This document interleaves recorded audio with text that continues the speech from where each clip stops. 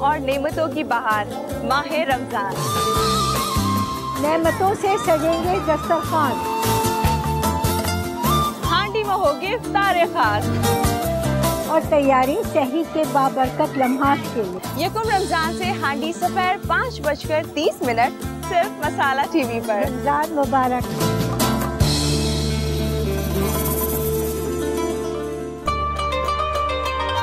हांडी, देखिए। पीर से जुमा शाम पाँच बजकर तीस मिनट।